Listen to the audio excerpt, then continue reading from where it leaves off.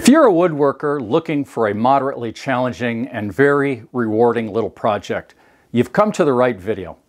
Handcrafted traditional style spring clothespins like this are your next project. They make great gifts and for some people, being an artisan clothespin maker is a great little business.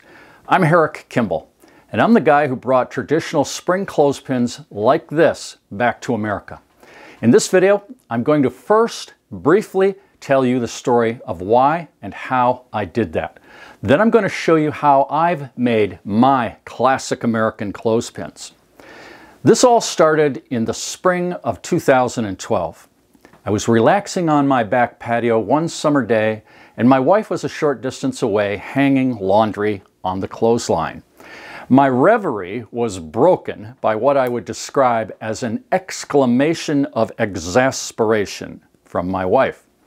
I asked her what was wrong, and she told me that the new clothespins she had bought were coming apart. They were junk. Then she told me that none of the new clothespins being sold were as good as the old clothespins she had that once belonged to her mother. Then she blurted out, You're the inventor. You need to invent a good quality clothespin. Well, that was a challenge. If you don't already know, I invented the Whiz Bang chicken plucker and the Whiz Bang garden cart and the Whiz Bang wheel hoe and a few other Whiz Bang products. And after doing some internet investigating, I found out that this style of clothespin was invented in America in 1887, and millions of them were made over the years by American manufacturers, but the last American clothespin manufacturer went out of business in 2002. Since then, all the clothespins sold in America are being made in Asia.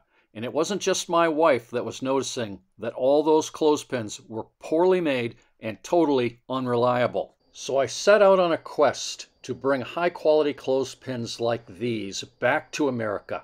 My plan was to first figure out the specifications and process for making these and to find an American spring manufacturer who could make top quality stainless steel clothespin springs. Then I wanted to make and sell classic American clothespins but more than that, I wanted to inspire other entrepreneurial minded woodworkers across the country to also make and sell artisan clothespins. My plan was to provide specifications and springs to all aspiring clothespin makers, and that is exactly what I've done. Now, I'm going to show you how I make classic American clothespins. The pictures that follow were taken when I was making my first production run of clothespins back in the fall of 2013. I did my woodworking under a tent in my yard. The power tools I used were very basic and mostly old. The wood you see in this picture is premium kiln dried ash, and that is 200 square feet of material. I need to mention that I've slightly modified my approach and specifications from what you'll see in these photos but they give you a general overview of the process. My PDF download that you see right here gives all the updated details. Let's begin with a side view right here of the classic American clothespin. I'll be showing you this picture with different cuts labeled as we proceed. But first, we need to cross cut our ash boards into three and a half inch lengths like you see right here. Each of these crosscut pieces of wood is referred to as a flitch. After the flitches are cut to size, it's time to cut the grip grooves. One pass over the blade makes one grip groove. Three grip grooves on hundreds of flitches adds up to a lot of hours of cutting. By the time I got to my second production run, I figured out that I could gang two blades together on my old table saw, as shown here and the feather board ensures that every flitch goes over the blade properly. By the way, that's a JessEm 4015 feather board and a Bench Dog Tools 10-033 push block. I'm very pleased with both products and there are links to them in the description below. The objective is three grip grooves. The mouth chamfer is now cut on the flitches. Here you can see I'm using a 45 degree router bit to make the chamfer cut. The spring end groove is next. I'm cutting it here with a 1 8 inch core box bit, but this is one of the changes I made after these photos were taken. The spring end groove is much better if it's made with a 1 8 inch flat bottom saw blade. Clothespin flitches are milled to precise dimensions. I prototyped my Classic Americans using the ruler you see here. It's not an ideal tool for easily getting precise measurements. A digital caliper, like you see right here, makes the job of measuring for these flitches for the tool setup so much easier. This is the right tool for the job. I love my digital caliper. Next is the small tooth groove. This is milled on the router table and I now use a 1 quarter inch core box router bit for this. Next is the spring seat groove. I mill this on the router table using a 3 8 inch core box bit. The final groove is the large tooth groove, which is also made with a 3 8 inch core box bit. Here you can see three milled flitches. Note the fuzzy edges left by the core box router bits.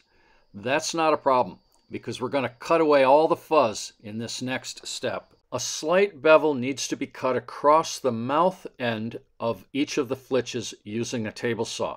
To secure the flitches for cutting, they're clamped onto a flitch sled. Here are some pictures of the flitch sled without the flitches. I have specifications for this in my PDF download. Now here you can see that two flitches are clamped to the sled at a time and the mouth end bevel is being cut.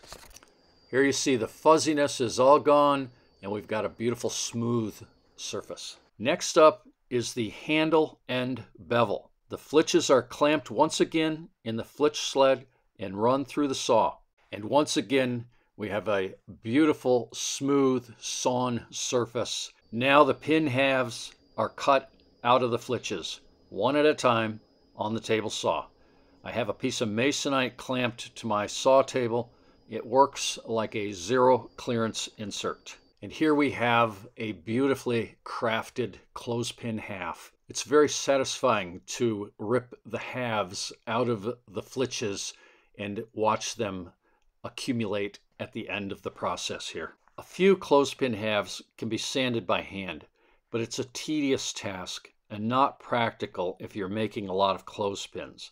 It's better, much better, to tumble them together for a period of time. Tumbling them together will soften all the sharp edges very nicely. You can tumble a small number of pin halves in your clothes dryer. Put them in a box, wrap it with a towel, then plastic wrap, and tumble with no heat. That's what I did the first time. Three hours of tumbling in the dryer, and they were nicely softened. Then I added bits of towel soaked with boiled linseed oil and mineral spirits, and I tumbled some more. It works, but there's a better way. That right there is my custom made clothespin tumbler. I fill it about half full of pin halves, tape a piece of cardboard over the opening, and tumble for a couple hours. In addition to smoothing the edges of the clothespin halves, the tumbling action also serves to reveal any weakness in the wood. There are homemade bucket tumblers on YouTube that would probably work for this application. I'll put a link in the description. To finish the pins after tumbling, I put a quantity of pin halves into a heavy plastic bag. I add linseed oil, some mineral spirits, and some Minwax tung oil finish. Then I zip tie the bag and put it back into the tumbler. 20 minutes and they're all nicely coated. Then I dump them in a large box and I let them cure, occasionally stirring to keep them from sticking together. Let them cure a couple weeks to get really dry. Once cured, the halves are assembled with an O'Neill pinner, named after my friend Tom O'Neill, who invented it for me. Specifications are in my PDF download, and how to use it is in the private website I put together for people who purchase the PDF. On a skill level scale of 1 to 10, with a basic birdhouse being 1 and a Chippendale block front secretary being 10, I'd say that making these clothespins rates about a 5. If this project looks like something you'd like to do, check out all the links I provide in the description and get yourself a copy of my specifications PDF. Thanks for watching. Bye bye.